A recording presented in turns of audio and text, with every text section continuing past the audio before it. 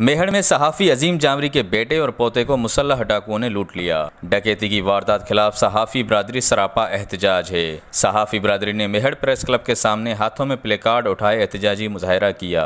इस मौके पर सहाफ़ी अजीम जामरी का कहना था कि कुछ रोज कबल मेहड़ बाईपास के मकाम पर। मुसल्ह हटाकुओं ने मेरे बेटे और पोते सुहेल और बिलाल से मोटरसाइकिल और मोबाइल फ़ोन समेत इक्कीस हज़ार रुपए की नकदी रकम छीनी थी। तारीख़ ते मुंहिंजे पुट पुट खां मोटरसाइकिल फुरजी वई आहे चोॾहं ॾींहंनि में अठावीह दफ़ा माँ थाणनि जा चकर कढिया पर मुंहिंजे रोज़ दिलासा था ॾियनि अॼु न सुभाणे अॼु न सुभाणे वञूं था त का बि शइ कान्हे का। उनका कहना था कि पुलिस टाल मटोल करने में मसरूफ है, जबकि ताहाल मुलजमान की गिरफ्तारी अमल में नहीं लाई गई और ना ही मसरू का सामान की रिकवरी हुई है। मुजाहरीन ने आई जी सिंध और डी आई जी हैदराबाद से नोटिस लेने का मुतालबा किया।